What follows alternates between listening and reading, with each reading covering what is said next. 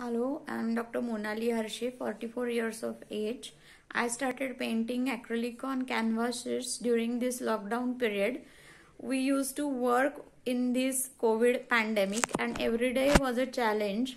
So keeping positivity and stress-free mind, I started painting. I loved painting but never used to get time and never was uh, prepared to do so these colorful paintings made me strong during this period and I almost made 100 of these paintings.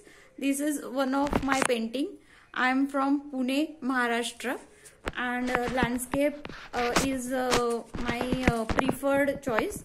I, I also made some portraits, animal paintings, bird paintings and got two prizes for uh, best butterfly second prize in September butterfly month and uh, Nashik Forest Division uh, third prize for my majestic wedge-tail eagle.